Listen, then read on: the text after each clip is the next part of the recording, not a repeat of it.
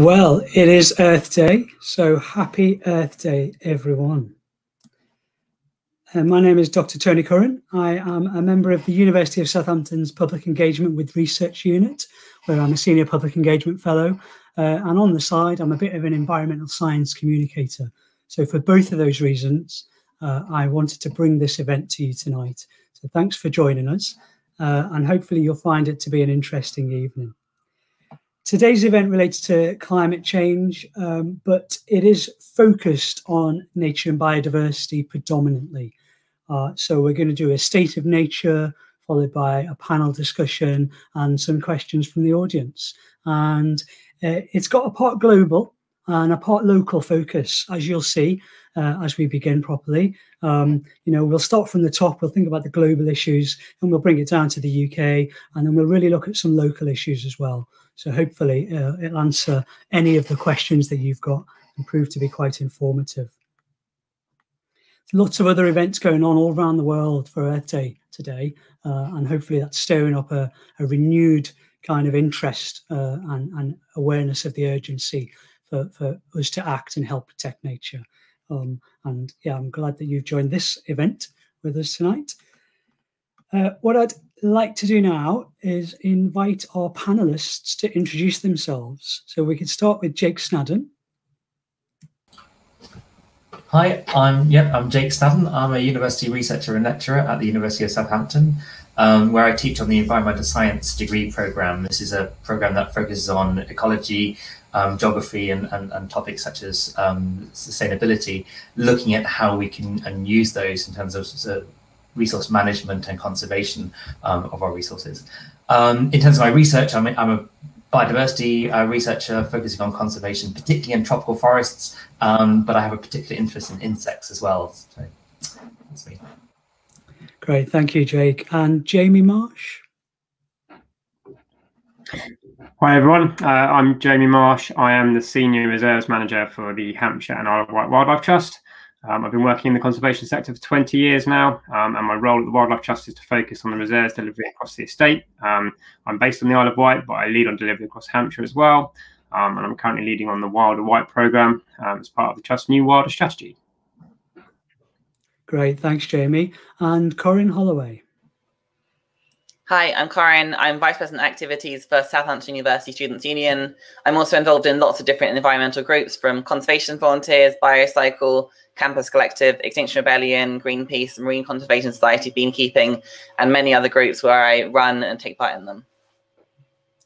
Great stuff. Thanks, Corin. And Izzy Sargent. Hi, I'm Izzy Sargent. I came to Southampton in the 1990s to study environmental sciences. Um, I'm now a parent, I'm a chartered scientist, um, but probably one of my favourite things since we went into lockdown is um, really just exploring the very, very local spaces that we have and the wildlife that's around the city. Great, thank you, Izzy. Okay, so without further ado, what I'd like to do now is present as an as an opening kind of kind of presentation to you uh, a state of nature. So if I could, uh, yeah, there we go, and uh, I'll get straight onto that.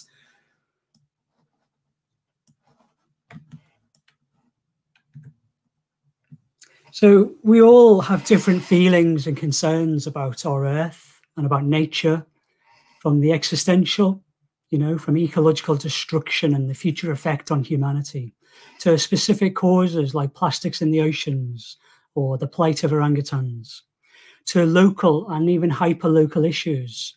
Could be exasperation of litter on your favorite woodland walking route or seeing yet another neighbour get rid of their green space in favour of a fence, paving, or decking. These all matter, and the variety of such concerns underlines the scale of the challenge we're facing. I think there are three steps to helping nature. First, we have to learn about the poor state of nature and about how we can help. Second, we have to care about it, and this means having a connection with nature. Step three is to act. And this can only happen when we're aware of the issues and we care about nature enough to want to protect it. Now, we're a bit removed from nature just now, but take a moment and picture it. think about how you feel about it. We have to get people to care if we want them to act. So, why should we care about nature and biodiversity? Well, here's a few quotes just to get us started. So, biodiversity is key to the survival of life on Earth. That's a pretty good opening reason, isn't it? It's a really good indicator of the state of the planet and its climate. You could think of it from this perspective. We have a moral obligation. How, why do we, as one species, have the right to drive many other species to extinction? Or you could think of it a bit more practically. The economies of the world would grind to a halt without the services provided by biodiversity. And what are they? Well, this chart shows a little uh, bit of it. So biodiversity is the foundation of the ecosystems which are essential to human well-being. Whether it's from providing our food, water, medicine and materials, regulating our climate, and being an important cultural value and benefit to people all over the world. Okay, so that's why it matters. How is it changing? Well, you're probably aware of this, uh, but to put a few statistics on it just to get us going, the Global Living Planet Index here shows that since 1970, there's been an average of 68% drop in the number of species or the abundance of each species um, that's been sampled from over 4,000 species. And you can see at the bottom there, in 2014, it was 52%. So it's getting worse over time uh, as well. Another thing you could look at is the International Union for the Conservation of Nature. They have a red list, uh, and this has now assessed 134,500 species, out of which almost a third of them are threatened with extinction. So that means they're at high, very high, or extremely high risk of extinction. Looking across Europe, these two charts uh, show us that um, the conservation status of habitats and of thousands of species that have been assessed are not great. You can see only a minority of them are assessed as good, uh, and most of them are poor or bad. I'm bringing it down to UK level. The state of UK biodiversity is shown here. So out of 70,000 species across the UK, on the top left, we could look at the red list, which is 8,400 species that have been assessed. And out of those, 15% are threatened with extinction.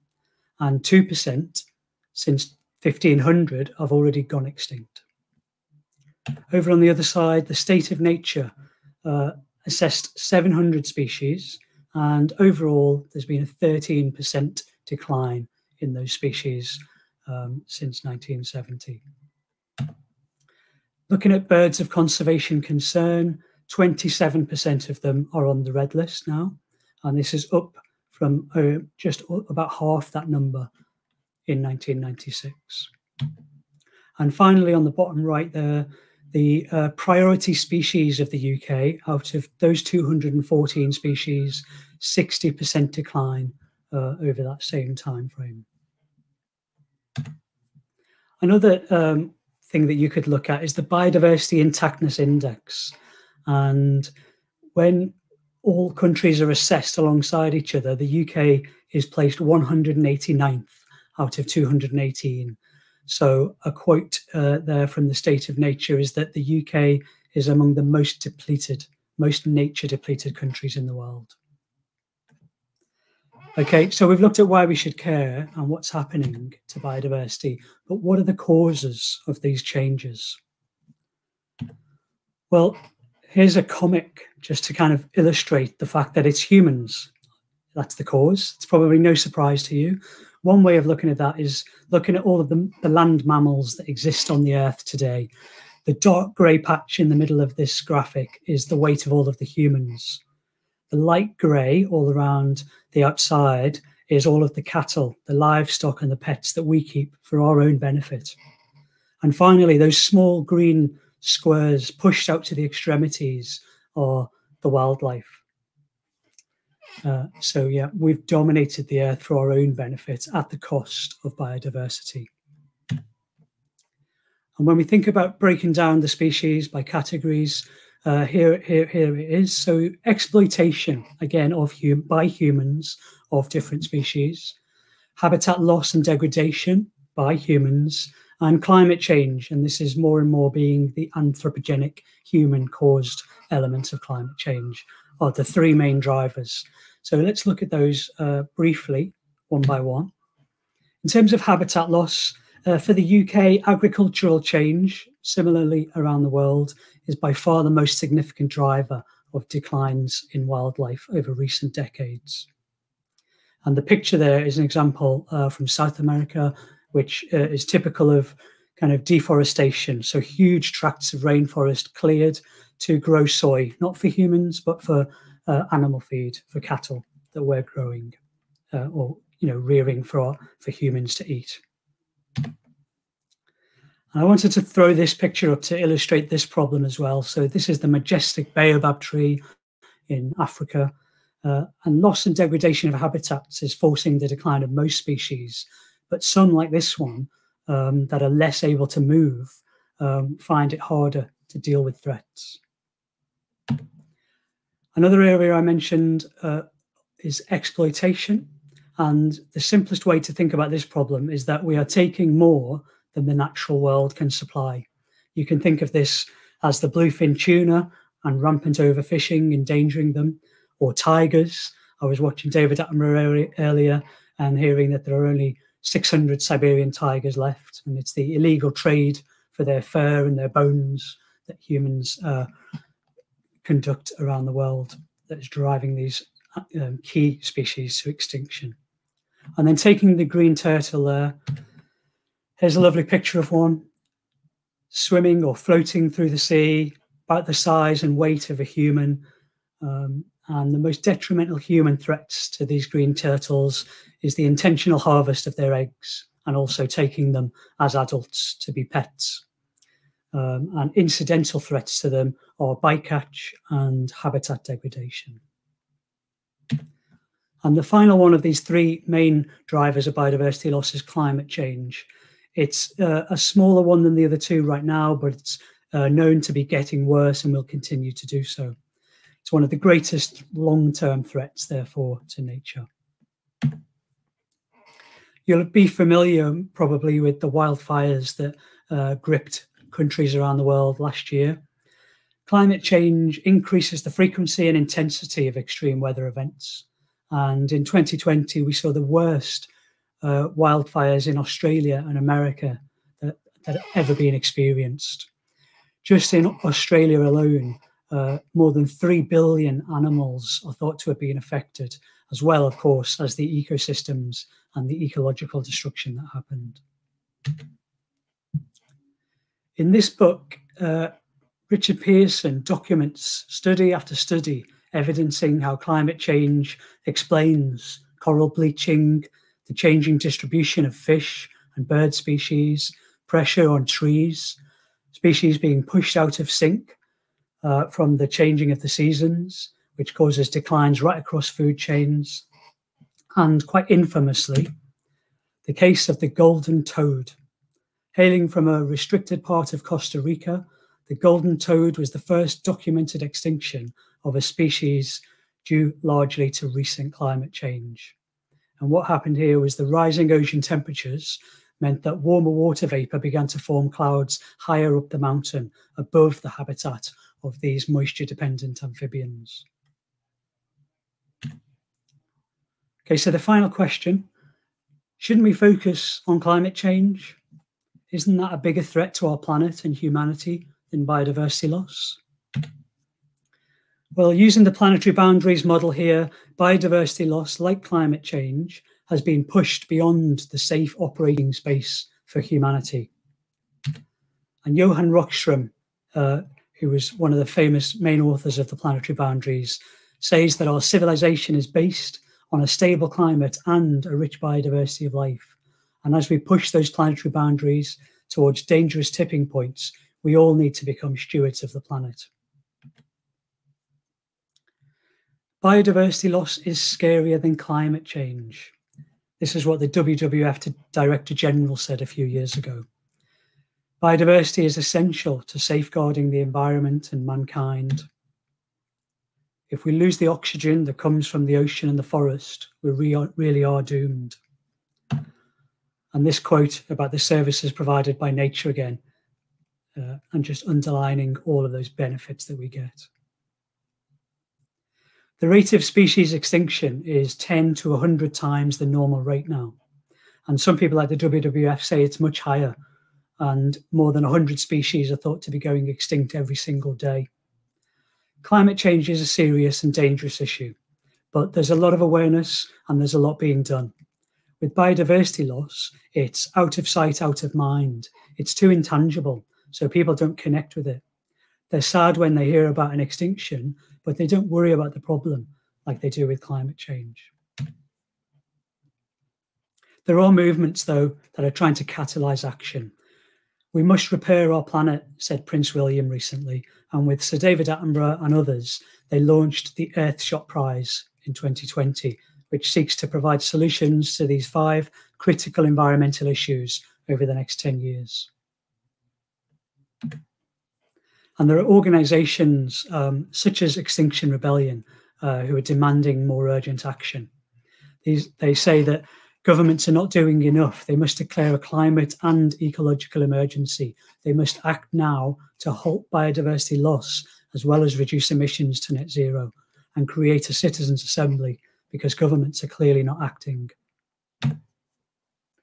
And finally, the short version. Biodiversity is critical to our well-being but we are causing it to fall rapidly. And so we all need to help protect nature and biodiversity. Okay, so what I'd like to do now is invite each of our panelists in turn to give some opening remarks. So firstly, over to Dr. Jake Snaddon. Hi, yes. So um, yeah, Tony, you mentioned um, the, the annual Living Planet Index as, as a, one of these measures of, of biodiversity loss that we, we see annually. These these reports are produced annually, and so we have these numbers in front of us annually. Like uh, you just mentioned, um, sort of 68% decline in animal populations globally since 1970, and these are alarming figures. But if we start to look at them and unpack them a little bit, we, we start to see the details. And, and if we look at this figure of, of 68% decline in animal populations um, globally, we start to look at where that is. And, and the tropics are, sort of, I'm, I'm coming here sort of talking a little bit more global than, than I think the other panelists are.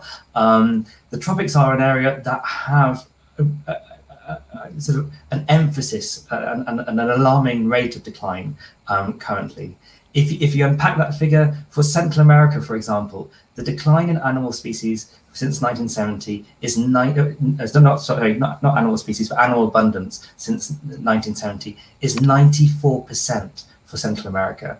So the tropics, the, what's special about the tropics is that they, they have these hyper diverse tropical forests on the terrestrial systems, which are being impacted at alarming rates. And so as we, as we impact these systems, the, the, the level of, of impact on these animal communities is very high.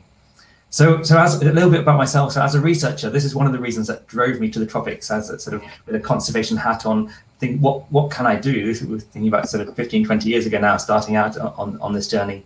And that led me to Southeast Asia um, to look at oil palm plantations. And um, I went sort of campaigning, thinking oil palm plantations, oil palm is bad. It's, oil palm is one of these um, crops that we hear a lot about in the media. Um, the big problem with oil palm is the loss of the forest.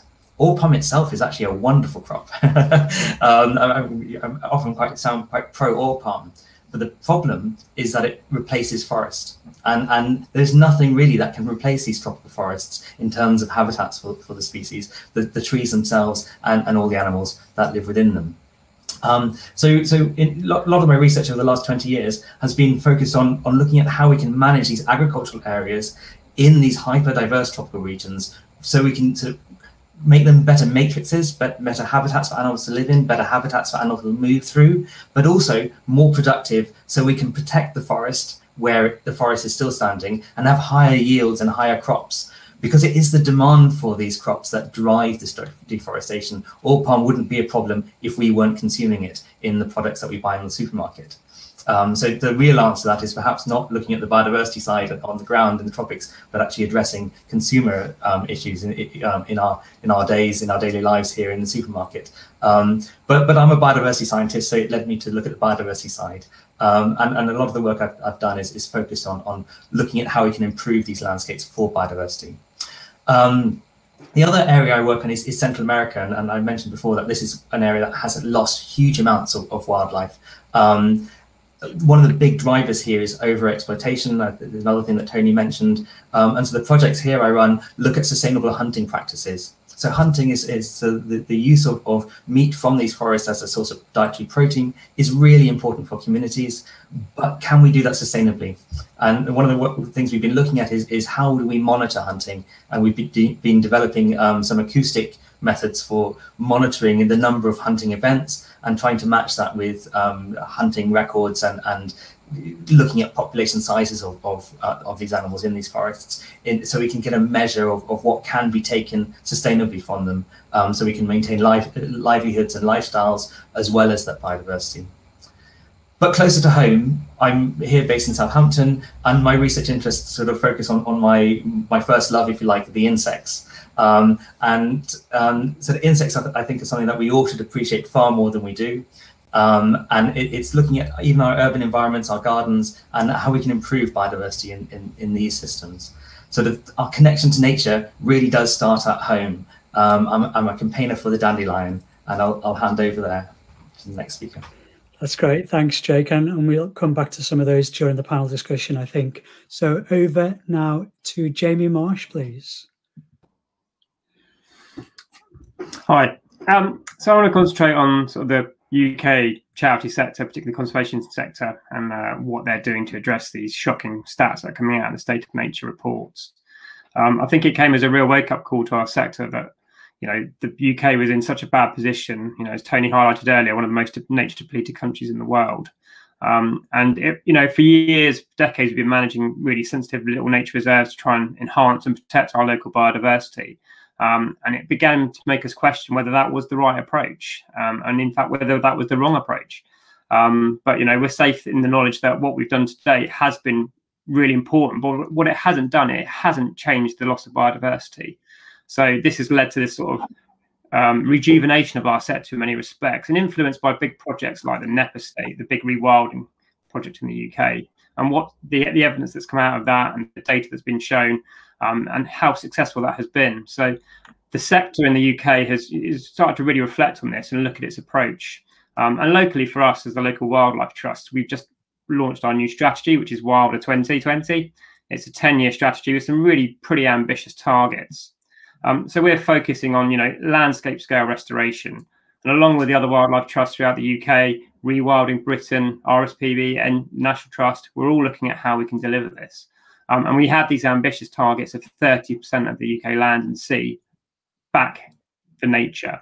So ambitious targets, is it deliverable? I really believe it is, but it's going to take everyone to get involved. And we were talking about tipping points earlier, and, and that's one of the key things. So the data shows that if you can stimulate one in four people to be involved in their local environment in some way or other, that would gather enough momentum to create a really positive change and reverse this decline.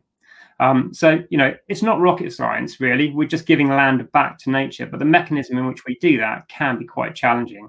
You know, we're working at a local level, influencing local parishes, local councils, local authorities, but also at a national level, trying to influence planning and moving away from this sort of economic growth drive to more sustainable planning, sustainable development to focus on the environment.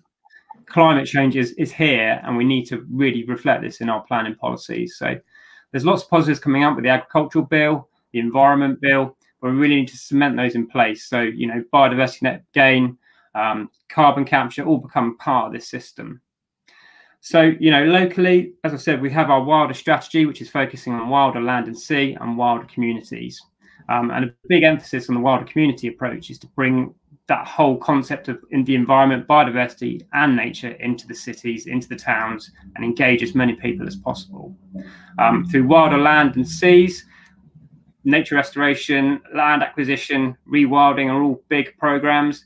Um, but it costs money. It's expensive to manage the environment. It's expensive to buy land. So we're looking at mechanisms to deliver that. And there's lots of emerging markets could make that possible. We have a nutrient neutrality scheme, which is enabling us to buy land and rewild it. So reverting arable land, farmland into nature, rewilding sites, woodland restoration. So there's lots of mechanisms to do this. You just have to be a bit more creative. Um, so there is much positivity. Um, we're also looking at missing species. So things like the beaver are a huge potential for the uh, local environment um, in terms of wetland restoration, carbon capture, water quality improvements. So nature's great eco-engineers. So missing species programs are important as well, and they help capture the minds and imaginations of people. Um, we also looking at you know the, the role of flagship species. So things like the white-tailed sea eagle project in the Isle of Wight has really captured hearts and minds. You know, inspiring a whole new generation of conservationists to get involved in the local environment. So this is really, really important for, for, for that engagement aspect, inspiring young people, inspiring the teenagers, um, and then getting them to take ownership of their local environment. Um, there's a huge amount of scope for this for local improvements. You know, Hampshire is under immense pressure from development, from infrastructure, um, economic growth, um, and we need to balance that with the demands that this is going to place on our environment. One thing the pandemic has given us is the uh, a whole new demographic of people finding and learning about nature locally. So lots going on, lots to get involved with. But it's also created a lot of challenges as well. So changing that perception of what a local nature reserve is it's not the same as a country park. It's very different. Um, so there's a whole role of education that needs to come out through these uh, strategies. And again, this is where wilder communities will help deliver this. So lots of positives, um, lots of challenges, but as a movement, as working in partnership, we can deliver this. So that's me done. Thank you. Great, and I like the positive tone to finish with. There's lots of issues uh, and potential things we can do being highlighted already, and I can see there are uh, questions starting to come through. Uh, what I'd just like to do before we move on to the next panelist to give opening remarks is just remind everyone you can ask questions throughout. Please do put them in your comments. You can tweet them to the public engagement unit as well, and we'll capture them there. Um, and we will come back to them at some point later on. So, so do start asking your questions. And I'll now invite Corin Holloway to make some opening comments, please. Hi. Uh, so I'm mostly going to talk about lo local things you can do and actions you can do to take part in it. Mostly around Southampton, the ones that I've been involved with, but there are local groups everywhere doing similar things to the things and lots of other things you can get involved with or just make personal changes to make these differences. So one thing that I've been quite involved is with involved with is conservation volunteers. So usually we're a university group and we go out uh, every weekend and we do some kind of litter pick or conservation task. So for example, removing invasive lilies from ponds or uh, cutting down invasive species of tree to allow local types to grow. So for example, rhododendron is an invasive species and it doesn't support much wildlife. It's not eaten by things, and the things that it is eaten by, it's it's poisonous to. So it affects bees and it affects other animals, and it's just quite bad and doesn't feed them in general. Whereas an oak tree, for example, can support, house, and feed hundreds of different species. You see uh, squirrels eating acorns and just things eating the nuts from oak trees and things living in holes in oak trees. So uh, a lot of the native species are really good for wildlife and we've kind of adapted to it. So we both try to get rid of invasive wildlife so that we have more of the native things and also try to make sure there's a variety of wildlife and habitat and plant life. So uh, even if the whole country was covered in oak trees, if there were no meadows or woodlands or lakes or things, then you wouldn't have that variety and you wouldn't have all that support. So even though oak trees are great, you also do need a mix of species and have a diversity of different bio different life. Uh, so, for example, uh, little mice will live in holes in grounds, or sometimes they live in holes in other places, and you need the different spaces to support different species. If you don't have that wide variety, then you can't do that. So, yeah, basically, biodiversity is very important because everything is connected. If the insects go, then other things don't have food. And if the birds stop eating the insects, you might get an explosion in one area, which causes other effects that aren't desired. So you need to have the whole balance of everything to make things work. Otherwise, you have problems. So you can get involved in lots of conservation groups. There will be one where you live, and you can get involved, get active, and feel really good about yourself. Uh, something specific we have in Southampton is BioCycle. So with BioCycle, we get volunteer cyclists to cycle around, collect people's food waste, so things like orange peels and those kinds of things, and we take it to be anaerobically digested to become energy instead of uh, getting energy from coal stations or other fossil fuels. And that means it saves the waste from being incinerated and then lost. So there are lots of great volunteering things around. Uh, also, we also have a beekeeping group within Southampton University, and we look after bees, make sure that they're all right, and make sure they're not being poisoned by things like rhododendron by seeing how the bees are acting, whether they are healthy and happy, and trying to help where we can, because bees are great pollinators, but also just bees alone, honeybees alone, are quite limited. So there's over 200 species of bee in the UK. The honeybee is just one of them, and it's a great species, but we forget all the other ones because we don't see them as much and because they don't make honey for us. So all of the species are really important because they pollinate things differently, they act differently, and they provide food for different animals. Uh, other ways of making changes are through politics and things like that. So there's uh, the kind of most direct way is just to email your MPs and say, I really care about biodiversity loss in this space. Uh, this wood is being cut down. Please vote against it. Please try to prevent this. Uh, and then trying to get the MPs and councillors to do what you care about. And also uh, political groups such as Greenpeace and Extinction Rebellion. So uh, I think in the last few years, groups like Extinction Rebellion and Greta Thunberg with her climate strikes, they've been gathering a lot of attention. They've been making media and they've been getting people to care a lot more about climate change. And I think that's one of the reasons why it has raised up the agenda. The UK declared that we were, in, the UK Parliament declared that we were in a climate emergency two years ago after 10 days of protests uh, solidly in London. Uh, and so it does make a difference. It does get noticed, although the ecological bit is also sometimes missed from that. So uh, Parliament declared a climate emergency, but not an ecological emergency. And we still need to make sure that they act on that. So joining groups like Greenpeace, Extinction Rebellion, and participating in climate change, climate strikes does make that difference and makes people notice. Great. Okay. So thank you, Corin. Um, what you, what we're starting to get a picture of here is that you know we've seen the scale of the problems, uh, and there's no panacea to those problems, and the solution is going to come through actions and effort uh, of lots and lots of people. That's why we all need to act. And it could be in one or two of the ways that, that the panelists have mentioned. It doesn't have to be in all of them. Uh, and just on those bee species that Corin was talking about, um, again, a negative point is a couple of bee species already did go extinct uh, from the UK in the last couple of hundred years. Uh, and we all know how important they are as pollinators.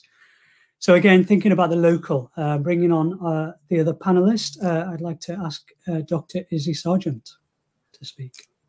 Thank you, Tony. Um, yeah, I think Corin brought a lot of positivity. I'm sorry, I'm going to bring it slightly back down again, but, but for a reason. Um, I said one of the things that I've been doing in the last year is poking around the local areas in Southampton.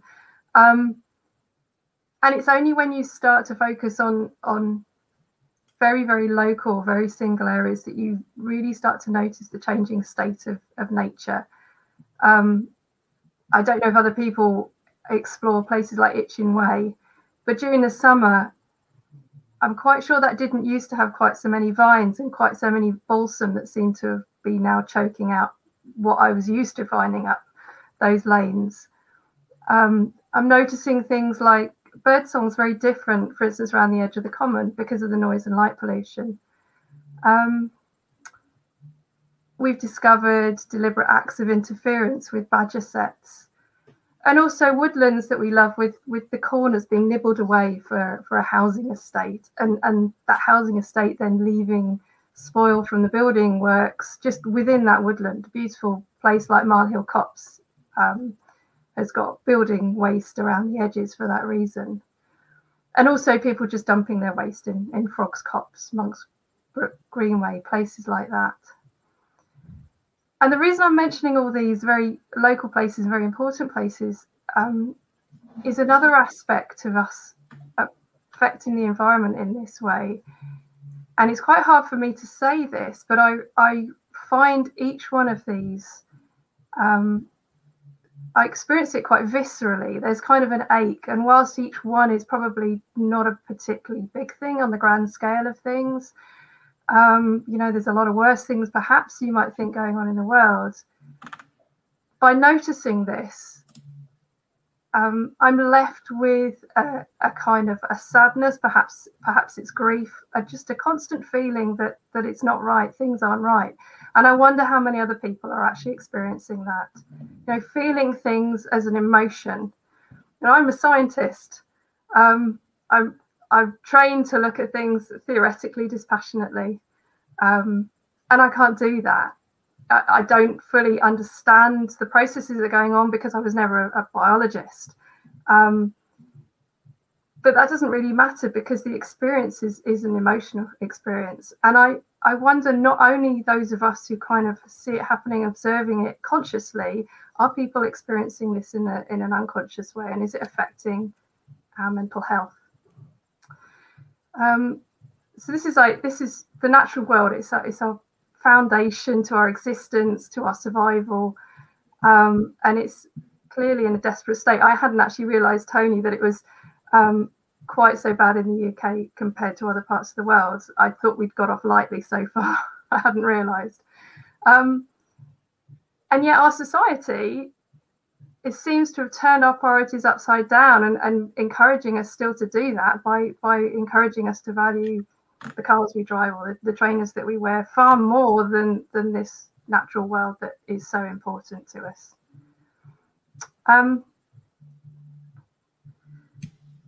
so I think what I'm trying to say there in a, in a sort of roundabout way is that there's a lot of statistics that we're measuring about the environment. Um, and there's policies that we could be writing or perhaps have been written. But actually, a lot of this is is um, it's a, it's an emotional experience that people are having, and I think that is actually something that we need to start bringing out and talking about too. I'll leave it there. Yeah, great. Thank you, Izzy. Okay, so we've heard from the four panelists. Um, what I'd like to do now is bring them all into the stream and we'll start having a kind of a more open panel discussion. And we'll bounce a little bit, you know, we said we'd do a part global, part local um, focus for this event, and we will uh, keep trying to talk to both of those um, scales let's just kind of go local for the first one. Um, and I'm going to go straight with a question from the audience. Um, what do you think local employers and economic development organisations should be doing to address biodiversity loss and climate change? Anyone want to go for that, panelists? What local employers in particular could or should be doing to address these grand issues?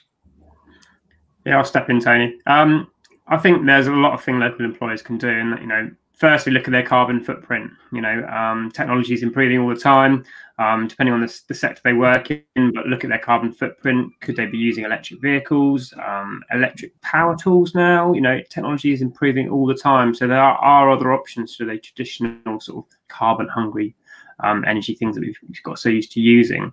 Um, it can be simple things as well, you know, looking at servers and cloud-based storage. Um, you know, it's easy to think of we're all IT savvy now, but those big servers in those warehouses take a lot of energy, a lot of air conditioning, and use a lot of carbon. So, um, thinking about your business as a whole. So there's lots of options. You know, incorporating solar panels. Um, even having your workforce do volunteering for local charities, giving something back to the community, you know, looking at uh, planting schemes, tree planting schemes, getting wider involvement with um, organisations such as ourselves. Um, so there's a lot of options um, for, for people to get involved and you know improve their environment for not only for their employees but for you know the local area as well.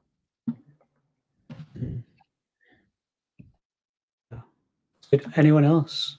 Izzy, would you like to say? Yeah. This is slightly controversial, but um, quite often when you look at a, a economic forecasts for, for businesses, business plans, I'm not sure that they take into account the changes that we're expecting to see in the environment and in climate. And I think they really should start doing that because there are some businesses um, that, frankly, don't seem viable when you put into um, into the, uh, the the statement the what's going to happen to the climate and what's going to therefore happen to policy. So I think actually it's about projecting forward and realistically looking at whether it's even a viable business. And if it isn't, making it one for the hmm. long term. Yeah, I, I think I, I, second both of those ideas. Just on, on Izzy's point, I think that speed. I think if it was an economic question, I think there would be changes would happen much faster. Um, and, and but we need these changes are happening. The environmental changes are happening now, and and and we need to be quicker. And, and so looking at as a business, looking at how you make changes and, and being faster at that, um, I think is important. And on, on Jamie's point, I, really like the idea of, of, of engaging the workforce because being informed and being being aware of, of what's what's around you. And, and often through organizations like your, the, your workplace you can engage with these organizations like the wildlife trust and, and other volunteering um, activities that, that Corin has mentioned and things. And so it's it's a great thing for all, for employers to, to do to, to engage their, their workforce. Uh, so my employer is the students union. So because of how students unions work it naturally cares about the environment because students care about the environment. Uh, so we've been trying to make, or they've been trying to make personal changes within the organization of reducing their main impacts, which generally the main kind of drivers in my experience are kind of things that make heat. So trying to make sure that heat isn't, you, you don't create heat where it's not needed and keep windows closed and keep heat in and make sure things are properly insulated. Uh, making sure food that it's kind of easy to get, kind of cheap food that's plant based or at least not beef mostly, uh, and try to reduce travel and make it easier to not fly or get to work uh, by cycling. And this year, especially, so people can come into work virtually. And in future, with the the student union is planning on continuing lots of virtual work, so we don't have to have all that travel expense and travel emissions and I think a lot of organizations will need to get used to that. And instead of flying off uh, for a conference, we'll have to kind of do more virtual meetings and making sure they're not doing loads and loads of travel and encouraging employers to just work from home uh, where they want to and it's easy. Uh, and for a lot of things in terms of mental health, uh, having to having really long commutes to and from work is actually quite bad and makes it a lot more difficult to go spaces. It's good for kind of people's mental health to not have to go and travel really far, uh, or at least very often, especially if your work is an hour away each day. Yeah, okay. Uh, and I think to finish that question off um, about lo what local employers can do, you know, two of the biggest employers in the city are the local, the city council uh, and the University of Southampton. And so just kind of almost giving a point on behalf of both of them for a moment. Southampton City Council has its Green City Plan. You might have seen it. Uh, it launched 2020 uh, with a plan for the next decade. Uh, and it has five themes in that plan. One of them is our natural environment. So again, just trying to bring the conversation slightly back to nature biodiversity. Um, in that natural environment theme, uh, you know, they have got plans to introduce new wildlife meadows across Southampton, increasing tree coverage in the city and creating green corridors both for people and for wildlife. So that's uh, some of the things Southampton City Council are doing. Uh, and in terms of the university, um, we've signed the, the City Council's Green City Charter, uh, among other uh, employers across the city. Uh, and we have our own sustainability strategy just launched. Again, just like uh, with the uh, the countdown movement, just like with the uh, the um, the the green city plan of the city council uh, and the um, the David Attenborough um, and, and, and, Prince Philip initiative to to tackle issues over the next decade. Our strategy is also really quite ambitious and trying to do things now, not like many bigger institutions like governments uh, are saying by 2050, but here are all the things we're going to do by 2030, which includes, for example, reducing net zero emissions to 20 uh, to zero uh, for scope one and two emissions, but also um, local actions and local benefits here in Southampton and in terms of the local nature and biodiversity. For example, we have you know green spaces on our campuses and uh, the Great Valley Gardens, so restoring those habitats and doing that kind of work as well. Okay, um, I feel like we're kind of on the defensive a little bit and, um, you know, thinking about the negatives again here. So um, we're, we're right to be, aren't we, panel? Because we've, we've, we've, we've painted a pretty bleak picture so far, both in my slides and in a lot of the comments that you made. Um, you know, nature is undergoing pressure and lots of local concerns. But are we right to be pessimistic? Are there some positives as well? I, I can I jump in here, Tony? I, I think um, I think the, the picture is bleak, but I think one of the positives is is the the the increased ease. I think that we have as citizens to get involved in things. And so whether, whether that is in, in, in um, local green spaces or local organizations or things like citizen science and, and getting involved in, in data collection and, and, and being part of, of um, the process of, of uh, sort of conservation and, and, and that, that practice. Um, I think that that really um, gives people a, a, a, really good idea of what, what is going on and, and, and what is happening within the world. And, and I think the, the, increase in the chance of doing that is, is, is much higher than it used to be. Mm. Good. Anyone else? Yeah, Jamie. Yeah, I just want to come in. You know, it's it's very easy to feel pessimistic. You know, the stats are inherently depressing. Um, and with you know COVID and the global pandemic, you know it's an enormous situation we're all facing at the moment. So pessimism is is high. Um, but as Jake said, there are lots and lots of positives come out of this, and you know we have the opportunity to change this. It's not too late, so that message has to be driven home. Um, but I also think it's key that you know all this negativity and all these you know these you know these depressing stats can also alienate a lot of people that are key to the future and the key to change in the future as well. You know, we really need to think about how these messages are coming across to young people. You know, all all, all children, all young people, because constant bombardment of negative messaging is going to alienate them away from this. So we really need to be careful how that's done, and you know, and emphasise at the point that although it is bleak, there is real hope, and it's your generation that can change it. Um, so I think that's one of the key things to come out of this, you know. And there is definitely hope, and there's movement, and there is change on the horizon. So um, I think we just need to keep the momentum going. And certainly, as a sector, that's what the NGO conservation movement is going to be doing, pushing for those changes. Mm. Great. And Corin, you wanted to say something? Yeah. Uh, so it is quite a bleak situation. The climate and ecological crisis is really bad, and it will be devastating. Uh, and we do need to act on it. But we have managed to change things in the past before. We've had to completely change lots of things. So if you are someone told someone 500 years ago that they wouldn't be ruled by a king and that they'd be able to vote for their leaders and be able to decide who they wanted to make decisions and could be involved in making those decisions and making the positive change to the, their own lives and the community. Uh, they may have laughed at you and thought that's ridiculous. That's not going to happen. The king's in charge we can't do anything about that.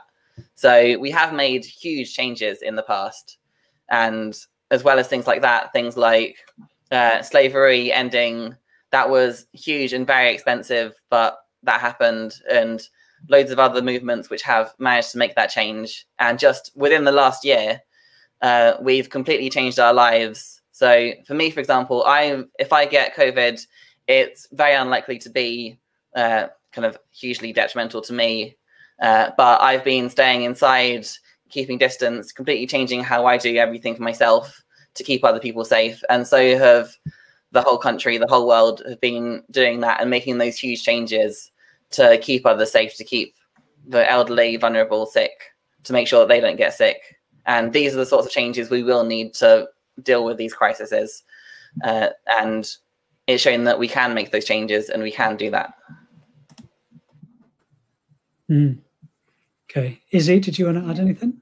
Yeah, it was uh, well. Um, the point that Corin makes, I think, is a really powerful one because in February 2020, people were saying we couldn't go into a lockdown. We certainly couldn't do video conferencing as our daily normal meetings with work.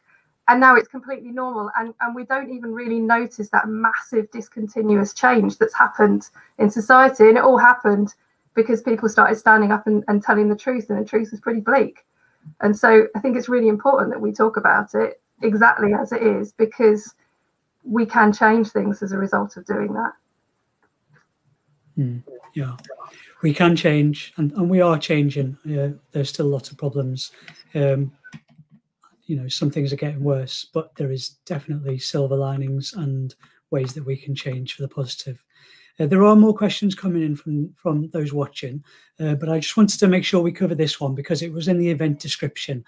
I questioned if governments and local councils are too focused on economic recovery as we move out of the pandemic, but also if the limited bandwidth they have for tackling environmental problems is really all channeled on the climate emergency, you know, with COP26 coming up as well, um, rather than this broader climate and ecological emergency uh, that many groups are demanding action on. Do any of the panelists want to answer that on behalf of um, the government and local councils? I think there are plenty of jobs um, in a in a sustainable future, in a non-carbon based future, in a future that doesn't destroy the environment, and we just seem to forget that and think about that economics is separate to the environment. The two things are entirely related, and we should be acting as if they are. Yeah, yes, going back to your opening, your opening, your opening remarks, Tony, uh, that biodiversity and, and, a stable climate are, are really key for, for the economy and, and society. And, and, and so, it, yeah, they need to be right up there managing that to, to manage the economy's long term. Yeah. Corin?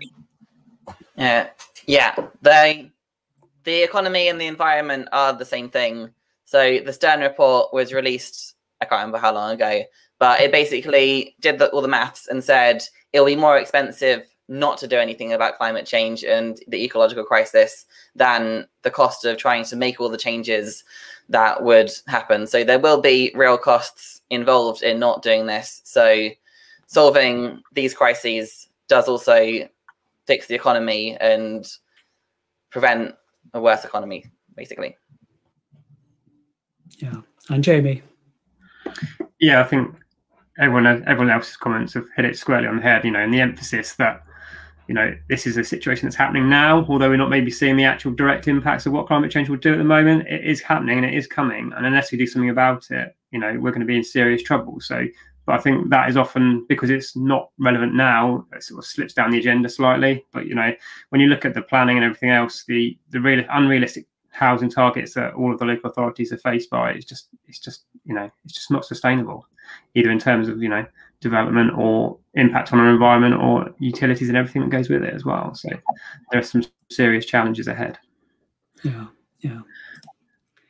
Okay um kind of bringing in slightly one of the questions from those watching um and touching on the point about uh you know climate change as well as the as the other big issue COP26 is coming up, and the UK is hosting it this year, and there's going to be building momentum for us to to catalyse action, both you know globally, uh, but also in, within the UK uh, as we build up to that. And as a very brief side note, hopefully we can do some kind of panel discussion locally again, like this, uh, at that time, focused more on climate. Um, but thinking on the nature biodiversity side, uh, as we're currently talking about, um, and I don't know if the panelists were aware of this, but one uh, person watching raised COP15 or the UN Biodiversity Conference, as it's also known, taking place in China later in the year, um, and maybe whether that's a catalyst for action uh, or or what we would like to see from that um, climate conference on biodiversity. Anyone want to talk to that question? James? I think I think the key thing is um, they talk the talk, but you have to walk the walk as well. So um, it's great coming out with all these ambitious targets and plans and what you're going to deliver, but just deliver it. I think that is the key thing. So, um, and I think that's there's you know worldwide governments have failed to do that. They've spoken the right things, but not actually delivered. So, in a nutshell, it's very basic, but that's what we need to see happen. You know, there's a lot of good stuff coming out. Uh, Biden's speech today was very, you know, inspirational, really good stuff. Let's see them deliver it. That's what that's what's needed. I think there, there could be a particular point on trade. I think a, a lot of what keeps our societies running it, it, involves trade, and that that trade has big impacts in other parts of the world that that um, as citizens we don't necessarily see or, or appreciate. Um, and and and so so I think that that that mechanisms for, for, for looking at that and, and, and dealing with that I think is a, a key point um, mm-hmm. for the work I, I do anyway. yeah. Anyone else or next question? Okay, so I wanted to bring it kind of around to a bit more local and a bit more personal uh, for a question or two.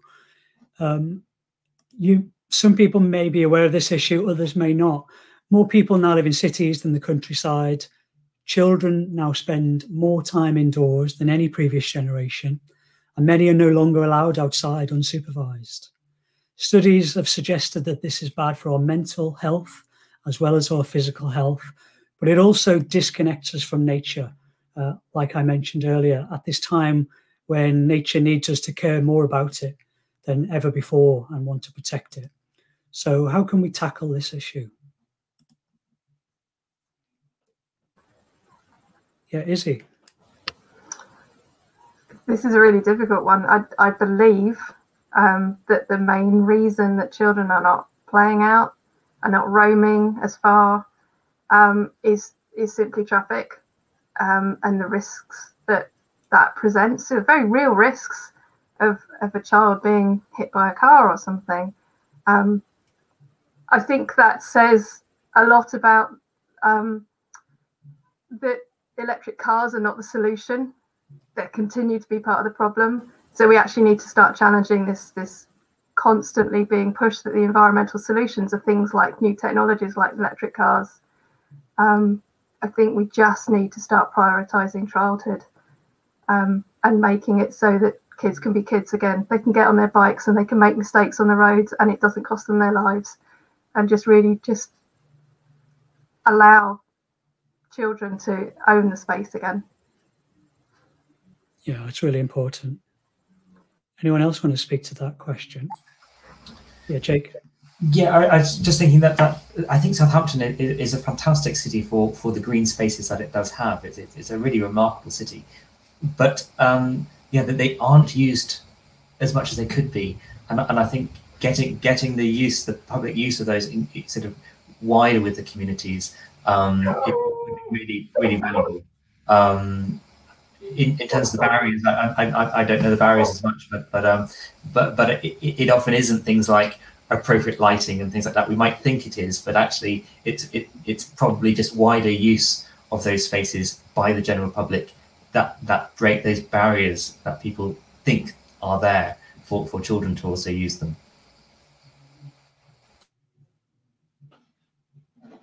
Yeah, Corin, and then yeah. Jamie. Yeah. So one of the things which, in my experience, stops people from getting out into nature is just uh, risk. So I know my flatmate uh, does cycling, but doesn't feel very confident on the roads, and because they're learning how to cycle, it makes it harder to get better at cycling because there's so many cars. So just getting out into nature automatically has that barrier, and it's hard to remove that barrier without changing everything. Uh, so there are some things of getting ways of get, making streets safer. So I know uh, some primary schools have uh, times when you're not allowed cars outside the primary schools uh, because, for example, during the school run, it's often just car, car, car, car, car, car, car. Uh, and they've decided that they're not going to have cars outside the primary school. And even though it's more difficult for the parents to drop their children off, uh, overall, it makes the children much safer and means that they can run around and play in the streets for 10 minutes before school if they want. and generally people do support them, even if not initially. Uh, when they have those kind of spaces that have returned to the public and returned to people, uh, it's quite nice. Yeah. Yeah, Jamie. Yeah, I think this links in quite nicely with a question that's come in from Rebecca as well about engaging young people. So, um, you know, there are a number of mechanisms for this. So, obviously, the school system is there. So, um, education programs. So, we take conservation environment to the schools or they come out to sites. So, helping facilitate that because that's a real expense for schools, paying for coaches to take kids to visitor centres, um, education sites, things like that. Um, so, we can deliver those environmental programs within the school if school grounds as well. Um, and this is where our wilder community programs, which is really going to start off later this year, is, is going to help help and have an impact. So engaging the community and giving them ownership of projects within their towns and cities. Um, again, taking the green space into the cities. We also have our waste of space program as well. So looking at areas of wasted land that can be used, um, given you know local ownership and local communities. Um, so there's you know there's a huge range of things we can do um, but also at national level, influencing the syllabus in schools to try and target, you know, all, all, ages through the school system. We're really good at capturing primary schools and young people for our school programs, but we start to lose them at those teenage years as those key stages start to develop. Um, so getting them back at that age is really important. So um, influencing education program syllabus is also is also part of the solution. Mm. Yeah, so there's a range of things being mentioned there. That's good. Um, I suppose uh, one other thing that I that I think of there, you know, some of it is the fear certainly uh, and the risk um, that's changed in society maybe over time with increasing vehicles. Um, another bit of it is this disconnect again, you know, that I talked about earlier. Part of the reason why we don't love and care about nature so much anymore is we're a bit disconnected from it, you know, and, and some of the nice initiatives I've seen being pushed um, through kind of you know NGOs, environmental NGOs, is trying to swap screen time for wild time. You know, doing more to encourage children to to get off their you know tablets or, or computers uh, and get out into nature again. And, and again, I want to keep pushing this point. I really think that the more we we all get out and get our fingers a bit dirty, you know, and experience some really nice connection with nature, it's through doing those kinds of simple actions that more and more you know we will realize we'll wake up and we'll want to stop these things that are happening um, that, are, that are slowly but surely taking it away from us.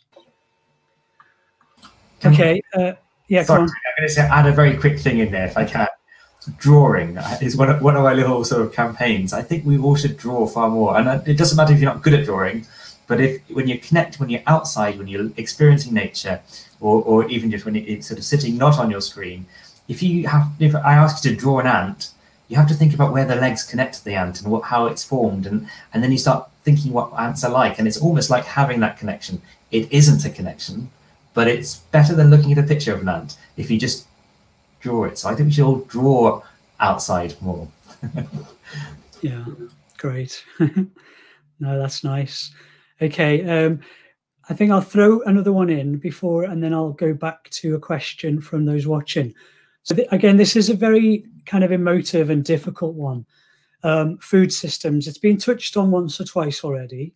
Um, I'm conscious that some people will have watched the new documentary Seaspiracy recently, um, and it described, you know, the destructive nature of industrial scale trawling in the seas, not only driving fish abundance to worryingly low levels, but also clearing marine plants from the seafloor, which which normally would absorb lots of CO2.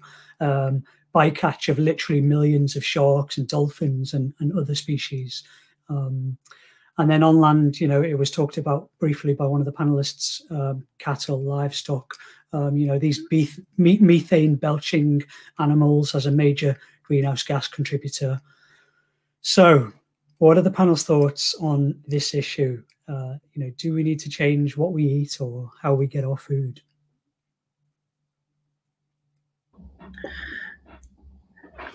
Right, I'm going to come in and maybe be slightly controversial, but um, yeah, I think the Seaspiracy has really raised a, a, a lot of profile um, for just how you know sustainable eating fish actually is now. Um, and you know, it's, it's, led me to stop eating fish completely just because of the the shock of that program, which is really quite emotional to watch. Um, and you know, question whether any seafood is actually sustainable in the longer term. Um, and I personally feel that it's not. So you know. Um, and it's not only like the bycatch and the catching of the, the produce, it's also the damage to the infrastructure. You know, you look at the UK, 92% of our seagrass beds have been lost um, and that is a shocking statistic. And the amount of carbon those beds store is just phenomenal, you know, and their role in, in ecosystems is just is vast and it's so important. So it just gives you an, an idea of what's lost. And that's, you know, mainly lost through dredging and beam trawling. So um, it's pretty, pretty grim. So I'm not going out and going to say everyone should become vegan or vegetarian because, you know, you can eat meat, eat, sorry, eat meat in a sustainable way. Um, the problem is that agriculture has driven this high yield, high production farming method. Um, so these, you know, lovely lush green fields you see are, are great for fattening cattle. They're not actually that good for cattle. You know, these really high sugar content grasses, Italian ryegrass is the classic example. Great for creating a fat cow quickly, but the byproduct is huge amounts of methane, and the cows and livestock get indigestion basically. So, but pasture on you know cows reared on traditional meadows and pasture, slower grown, much more economically viable, um, uh, much more econ- environmentally friendly. You know that is an option, but it comes at a price. And as consumers, this is where consumerism comes into it. And I think Izzy hinted this earlier. Um, you know, we all like to go out and buy cheap food and cheap materials and stuff. But actually, as consumers, we can drive that change as well. So how we buy meat. So it's better to buy local. Um, local provenance, you know where it's from, where it's been reared, um, and going to the supermarket and buying some shrink wrap stuff that's come from a high production yield. So those are my thoughts on that. Yeah, Corin.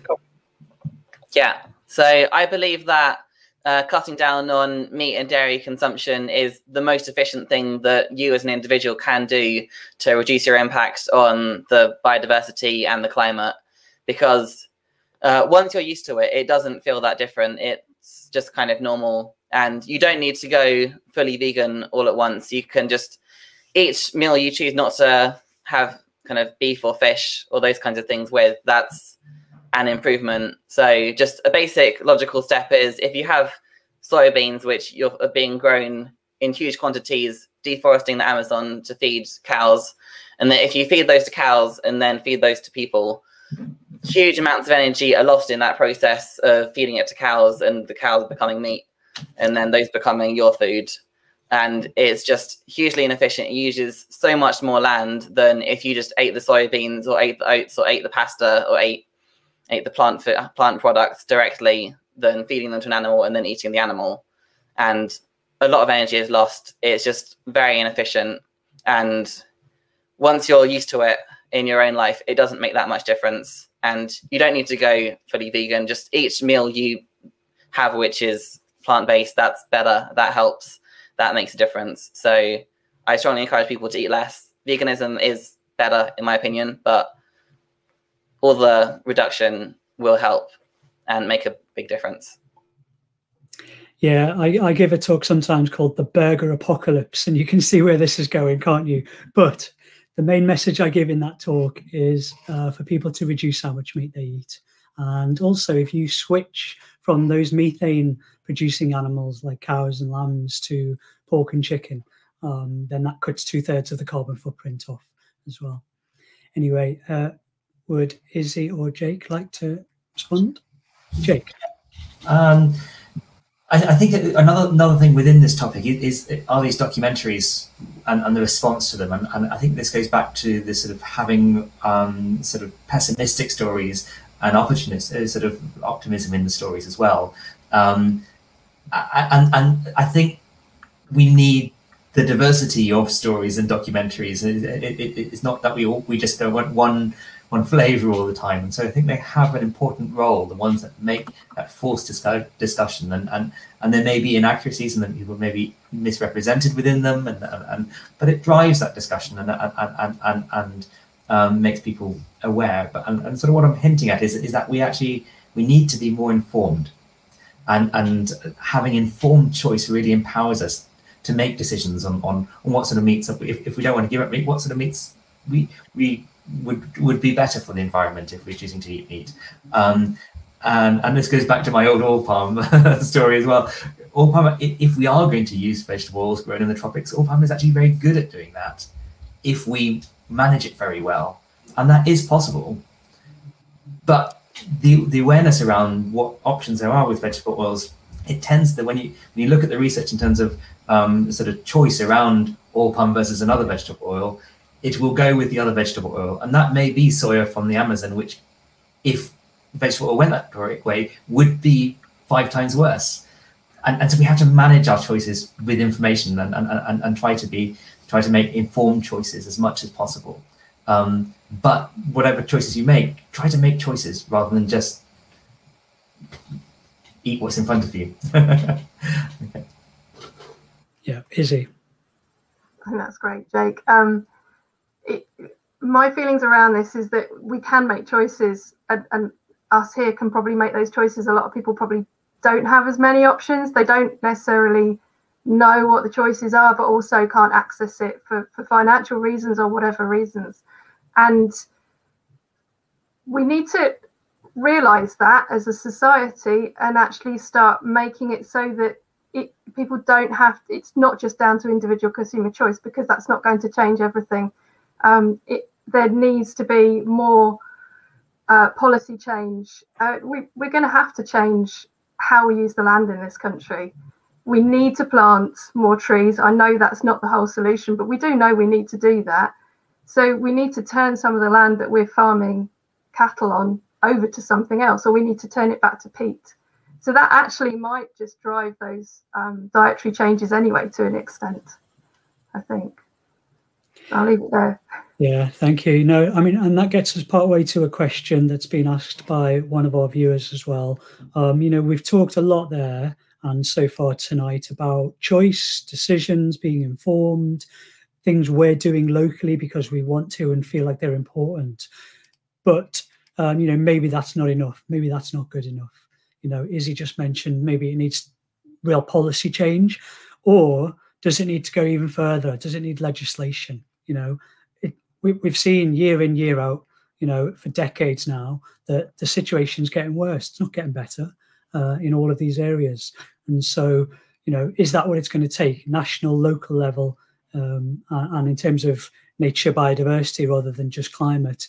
Um, the, from the question from the audience member, mandating wildlife protection and provision in new developments or banning paving, banning astroturf in gardens as examples.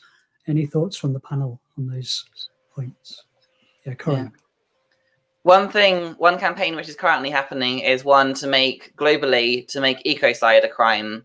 So that would include a lot of things which a lot of the oil companies are doing. So drilling up the Niger Delta to search for oil and just drilling oil exploration and things which will hugely harm people, the environment, animals, and just in general are kind of really awful.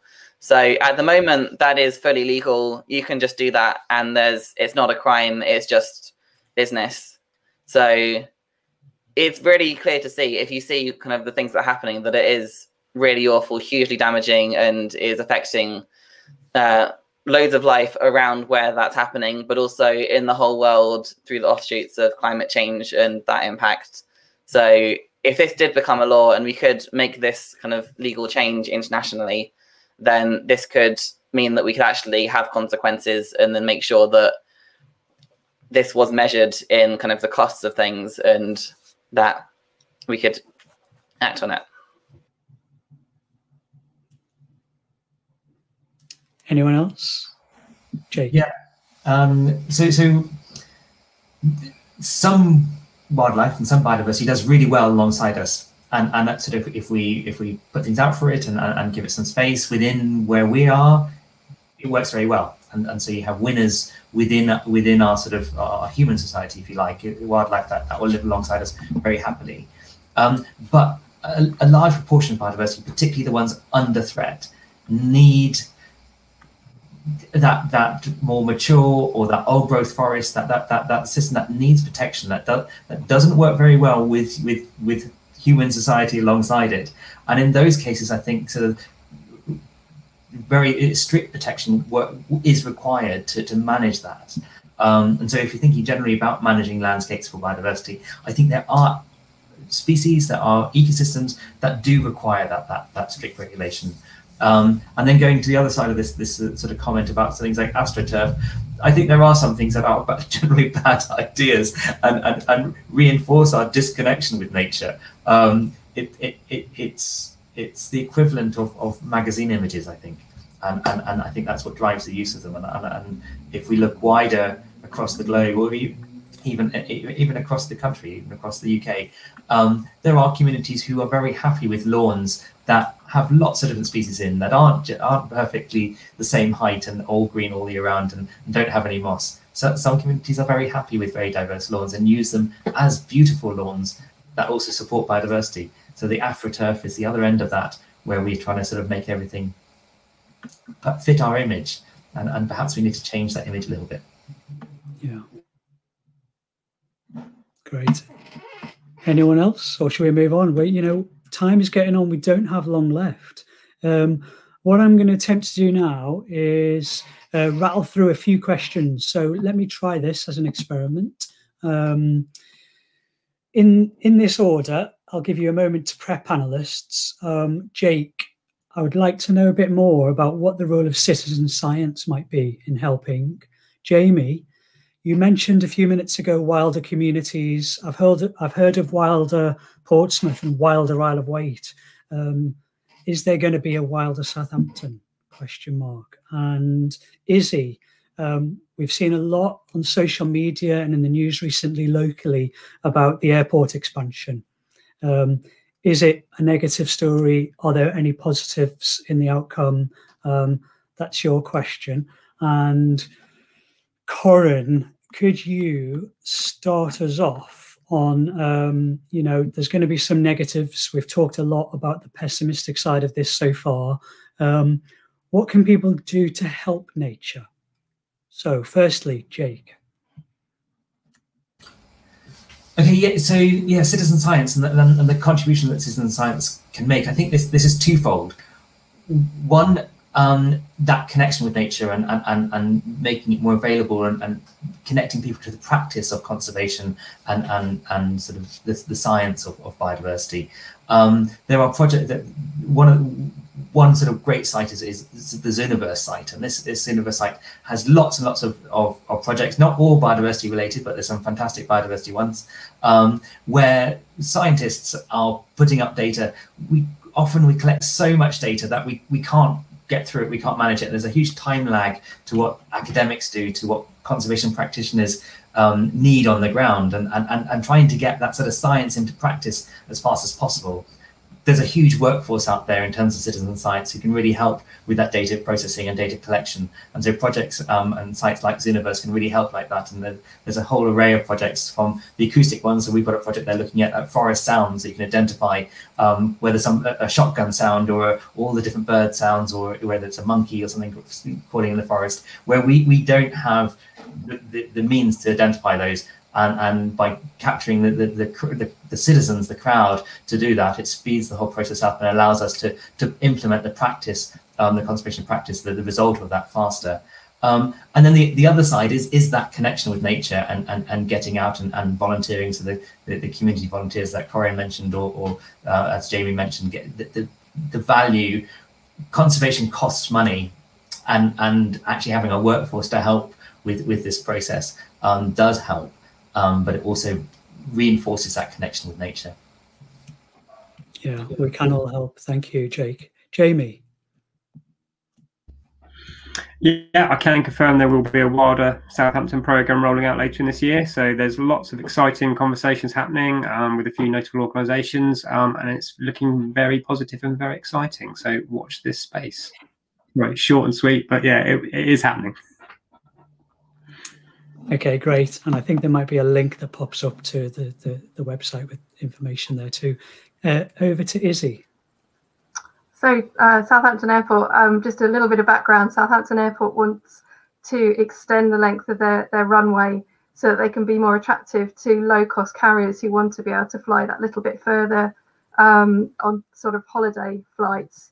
Um, it was up to Eastleigh Council uh, which is a local authority, to decide on this, despite it being um, having regional impact in terms of particularly noise um, and to an extent air pollution, um, potentially traffic too, and obviously global impact because aviation is is a huge contributor to climate change. Um, so it seems on the face of it quite a negative story because despite declaring a climate and ecological emergency, Eastleigh Council voted to extend um, the runway. However, uh, the, the positive there there are so many positives that we can take from it.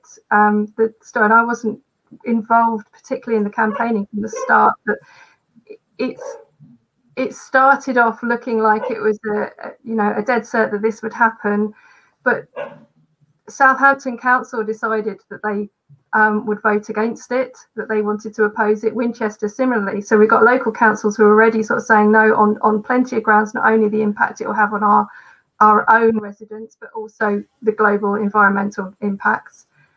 And in fact, uh, a third of Eastleigh Council voted against it. And I think the really powerful thing that I took from the 19 hours of meeting on which that was decided was the speeches that were made by those councillors who were opposing it, because they were saying things that you wouldn't have heard a local councillor say. Um, possibly even six months ago, but certainly not 18 months ago, about the our obligation to people around the world and our obligation to future generations. So I think there's a positive story in that that things are changing, the tide is turning, mm-hmm. um, and there's more happening. So uh, if if anyone wants to get involved in the um, campaign to ex- to oppose the expansion, I think there'll be a link appearing for um, the AXO website, which has got information about how you can find out more. Yeah, there it is popping up. Thank you, Izzy. And as I hand over to Corin, um, I'll throw it to the other panelists as well after Corin has finished to mop up anything else. What can people do to help nature? Yeah, so I say there's kind of three main areas, which are the individual things in your own life. So individually, the things that make the biggest impacts are around, or mostly to climate, are more around uh, what you eat, uh, heating, which uses huge amounts of energy, and travel, which also uses a lot of energy. Uh, so if you can make sure you don't waste food and try to eat more plant-based options, that's kind of a quite easy change to make that has quite a big impact. And you can see the impact as well because you see less in your bin being thrown away and that kind of thing. Uh, and making sure just to put a hoodie on instead of turning the heating up is also a great way of reducing heating and trying to have plants in your house and if you're lucky enough to have a garden in your garden as well uh, and then try to do things virtually try to meet locally and try to travel less and enjoy your local community more the second way is uh, within your community so you can do things like tree planting litter picks uh, conservation tasks or just uh, making friends with people in your community and going for walks around the park and getting involved in nature and seeing animals and saying, oh, that's a cute animal. And just being aware of nature makes you care more about it and makes them care more about it. And it influences both of you. So those kind of community events are really important in kind of making that change and getting people's mindsets to change. And then also targeting governments and corporations and trying to get them to act. So emailing MPs uh, tweeting corporations saying, "Is this your letter? Why do you? Why is there a Coke bottle here?" Uh, and making those kinds of statements because uh, companies have a reputation and keep them carefully and try to make sure they have a good reputation. And if everyone hates them, then they don't like that. So do publicly call them out when they do bad things. It takes a while, but it does get noticed. And then you can also influence by protesting. So uh, things like school strikes. So it's children missing school, which is a bad thing. So you don't want children to miss school, and I think it's awful. But at this point, there's kind of no other option, and Greta and all the children who go on school strikes don't see any other option, and it is their last choice. And it makes news because people don't want it, and it affects people, and because they don't want children to miss school because it's not great. And similar with protests of roadblocks and things like I've seen ones where people would uh, smash the windows of Shell, which damage is bad and blocking roads is bad because it affects people. But uh, the things that make difference and make people notice are the ones that make that difference. So if a protest is kind of on a pavement and no one sees it, then no one will notice the protest. It won't make any media and it won't get corporations to care because it's not costing costing them any money. So protest does make a difference. It has worked historically in the past with Martin Luther King, Gandhi, and all of those kind of people, and they've made huge differences. So you can influence corporations, you can influence governments, and you can make those changes. Okay, um, we don't have long left. Uh, Jake, Jamie, and then Izzy in that order. If you wanted to add anything to Corin's points on how can we help nature. So, so two um, very briefly. One, I, I, I think we should all draw a bit of nature um, connect to it in a small way. Um, I think, think the more of us drawing out there, drawing, drawing nature, or even in your homes, draw a bit of nature. Um, and then the other scale, and I see from the comments the worry about that individual actions, how far can they actually go? That connection to the wider the wider network, the wider policymakers, um, the politicians. Um, do voice your views. Um, I, people do listen. Great, Jamie. Yeah, go out, find it, experience it, respect it, look after it. Um, very simple messages, and you can do that anywhere. Go and hug a tree in a city. You know, it will give you a warm, fuzzy feeling inside. Um, there are opportunities everywhere. You just might have to look a little bit harder sometimes. Great, Izzy.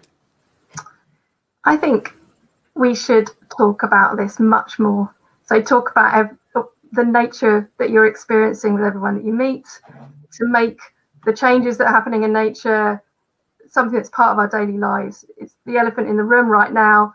Let's address it. Um, let's then find the language around how we feel about it because it's really hard to talk about that that emotional side that is affecting us. Um, and I think finally talk about how you want to see the world change. So tell those stories about the amazing things that could happen if we make the right changes. Yeah, great. You know, I mean, we've covered it there. I think panel, well done. Um, being a voice for change uh, can be powerful as well as your personal actions. And um, you know, Jamie covered it. He stole my thunder there. The thing I've been saying throughout, uh, so I won't repeat it except that final um, tagline that I showed you on my last slide at the beginning. The the more we value nature, the more we'll want to save it. Biodiversity is critical to our well-being, and we all need to help protect it. So just as we draw to a close, I'd like to um, give an opportunity finally to each of the panelists in turn, if they do have any closing remark they'd like to make. So Jake. Yeah, I think one of the things we've been hearing about throughout this this, this discussion is is the messaging and and and and harnessing that messaging. And I, I, I think um, looking out for it, seeing it, feeling it. I like I like the emotional touch that Lizzie was mentioning and and and passing it on. I think it's really important. Great, Jamie.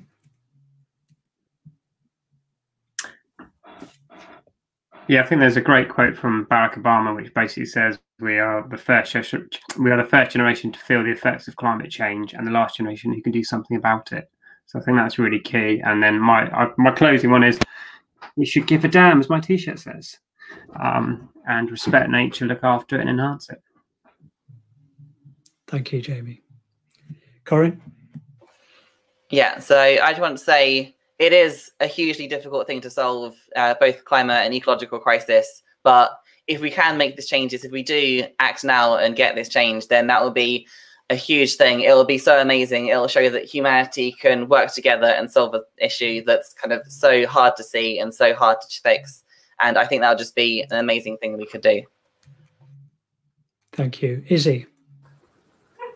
I'm going to completely misquote um, Rebecca Solnit, but she says something like, um, uh, most environmental victories seemed like nothing ever happened. And that's what we want to get to. Exactly. Yeah. Well, listen, thank you so much, panelists. Uh, you've added some great contributions throughout the evening there to really give a, a, nice picture of, you know, not only what the issues are, but what we can all do about it. Uh, and thanks for everyone uh, who's watched this this evening or will do on the recording that follows. Uh, it will be available afterwards, so do share this with others as well. Um, what else can I say? I suppose one thing I really wanted to do is let you know that there is a little, a really short survey that we've made, and that I think the link to that and the code you need to complete it is about to appear in the comments. It'd be really lovely to hear not only what your thoughts are on tonight's event, but also there's a couple of questions on your thoughts about nature and biodiversity. So we'd love to, to hear your thoughts as well. If you fill that in for us, that would be great. Um, there is an event tomorrow night. There's a there's there's a, there's there's a link here, so bear with me. Tomorrow's World Book Night, everyone, and you know that's another thing we love, isn't it? Is books because we learn so much about uh, the world and, and and what we can do from them. There's another project we run here in Southampton called the Research Cafe, and to mark World Book Night tomorrow, we're running Research Cafe number forty, and it's another free online event you can come to if you like. And the reason why it links to tonight's event is we've got the great Philip Hoare talking about his new book, Albert and the Whale. Uh, so you can get that book if you want, but you can also hear him talking about it tomorrow evening at seven uh, on some of these same channels. And you know, Albrecht Dürer, the famous artist from 500 years ago, really changed how we see nature through his art uh, and the fragile beauty of the natural world. So if you want to hear more about that, come to tomorrow's event. Um, and this event tonight has been put on by the Nature and Biodiversity Community Hub that we have here in Southampton, which is another great way that you can kind of connect with other people and, and do your bit to help. So if you'd like further information about that and how to sign up, again, look in the comments because that's been shared just now. Another thing the hub is doing is on Saturday, we're running a biodiversity game show uh, in the daytime and this will be child friendly as well. So if that's something you're interested in, the link is appearing. Another thing the hub is doing, looking a little bit further ahead, is the next thing in the calendar after Earth Day today is World Environment Day, and that falls on the 5th of June. Again, it's a global time that we mark, um, you know, how we can help the environment. Uh, and again, the hub is hoping to do something physical in the real world for this. Uh, up at the Winchester Science Centre, they have a biospace outdoors, and the hub and some people from Southampton who are members of the hub are going to go up to the outdoor space of Winchester Science Centre on that day, Saturday, the 5th of June. And so you can engage with us further there. It's National Marine Week at the end of July. Uh, and of course, as we mentioned, it's COP26 in November. And so we'll see what other things we can we can do to keep talking about these important issues then. So it all, all it remains for me to say uh, tonight now is thanks again to the panelists and thanks everyone for coming along. Good night.